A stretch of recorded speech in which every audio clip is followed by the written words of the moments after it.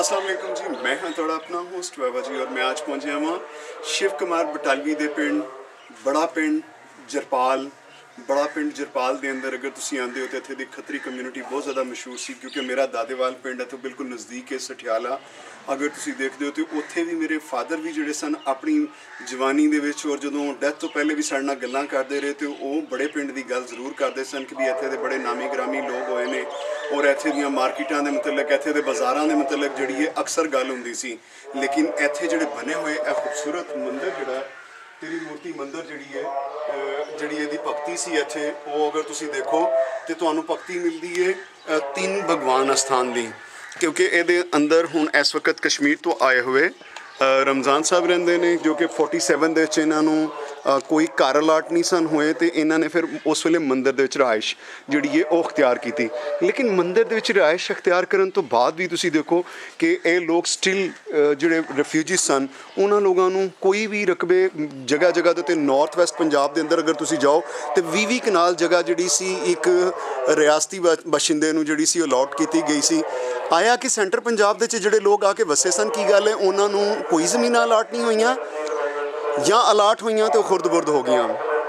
ਕੁਝ ਨਹੀਂ ਕਿਹਾ ਜਾ ਸਕਦਾ ਇਸ ਚੀਜ਼ ਦੇ ਬਾਰੇ ਦੇ ਵਿੱਚ, ਲੇਕਿਨ ਇਹ ਰਿਮੇਨਸ ਨੇ ਤ੍ਰਿਮੂਰਤੀ ਮੰਦਿਰ ਦੇ। ਅਗਰ ਤੁਸੀਂ ਦੇਖੋ ਤੇ ਸਾਹਮਣੇ ਬੈਠਾ ਹੋਇਆ ਹੈ ਗਣੇਸ਼, ਔਰ ਉੱਤੇ ਇਹ ਤ੍ਰਿਮੂਰਤੀ ਸਨ, ਸ਼ਿਵ, ਵਿਸ਼ਨੂੰ ਔਰ ਮਹਾਦੇਵ।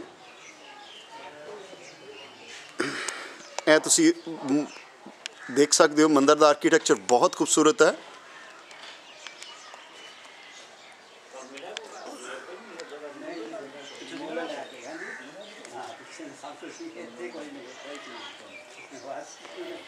Very beautiful.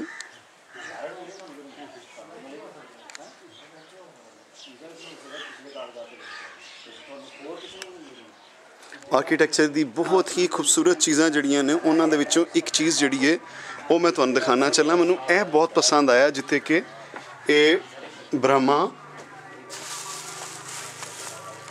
ਇਹ ਦੇਖੋ, ਤੁਸੀਂ ਬੈਲ ਹੈ।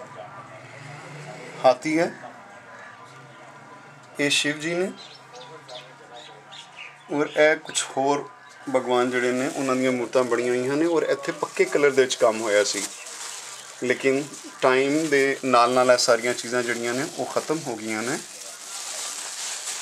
ਬਹੁਤ ਵਧੀਆ ਇੱਥੇ ਹੀ ਤੁਹਾਨੂੰ ਇੱਕ ਥੋੜੀ ਜਿਹੀ ਮੂਰਤ ਬਣੀ ਹੋਈ ਨਜ਼ਰ ਆਉਂਦੀ ਸੀ ਇਹ ਤਾਜ ਨਜ਼ਰ ਆ ਰਿਹਾ ਹੋਵੇਗਾ ਸ਼ਿਵ ਜੀ ਦਾ ਸੌਰੀ ਕ੍ਰਿਸ਼ਨਾ ਦਾ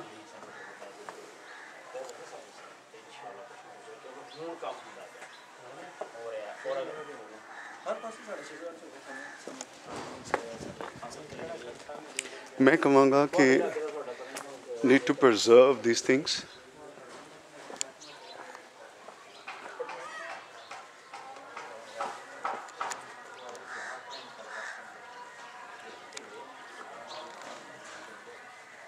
ਮੰਦਿਰ ਬੜਾ ਪਿੰਡ ਜਰਪਾਲ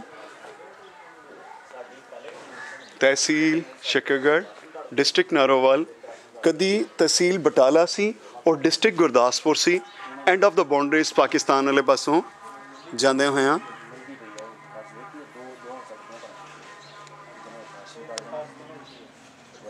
ਮੈਂ ਹਾਂ ਤੁਹਾਡਾ ਆਪਣਾ ਹੋਸਟ ਬਾਬਾ ਜੀ, ਔਰ ਤੁਸੀਂ ਦੇਖ ਰਹੇ ਹੋ ਤ੍ਰਿਮੂਰਤੀ ਮੰਦਰ। ਬੜਾ ਪਿੰਡ ਜਰਪਾਲ, ਜਿਹੜਾ ਕਿ ਪਿੰਡ ਸ਼ਿਵ ਕੁਮਾਰ ਬਟਾਲਵੀ ਦਾ